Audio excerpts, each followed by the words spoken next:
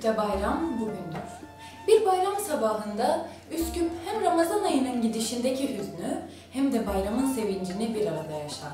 Sabah ezanıyla birlikte uyanır tüm şehirler, bahara uyanan ağaçlar gibi yemyeşildir burada bayram sevinci. Camilerdeki minareler asar yeşil bayraklarını, ışıklar bir başka hazırlanır bugüne. İşte geldi bayram.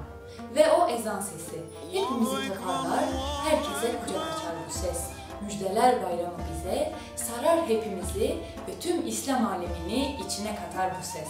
Aynı doğanın bir parçasıymış gibi bütün coğrafyaya bu ses yayılır.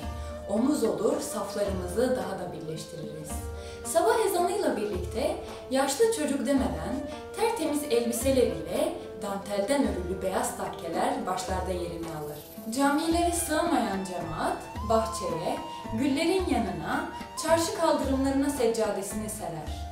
Gül kokusuyla toprağa değen alınlar, yüz yıldır bu toprakların yeşermesini sağladılar. Ve bayram namazı dimdik omuz omuza herkesin saflarını birleştirdiği ve minberlerden kurulan cümlelerden herkesin safını belli ettiği o yer.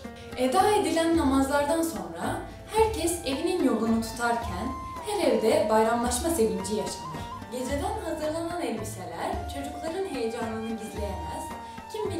Çocuk heyecandan uyuyamadı, kim bilir kaç anne evladına kavuşmayı bekledi bu sabah. Ne kadar akraba varsa bugün hepsiyle bayramlaşma günüdür.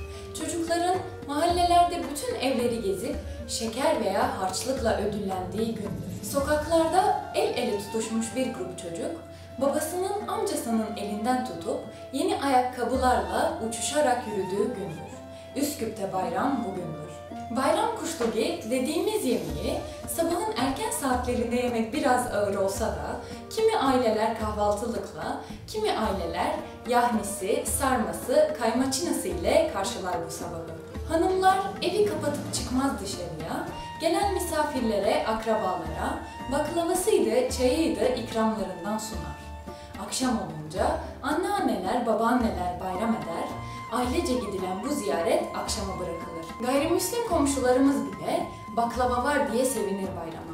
İşte bu coğrafyanın hoşgörü ve adalet geleneği Osmanlı döneminden kalmadır elbette.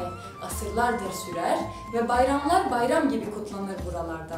Bu ezanlar ki bizi namaza çağırırken tarihin ve bugünün yankılarını da bize haykırıyor. Ne diyordu Üsküplü şair Yahya Kemal Beyatlı?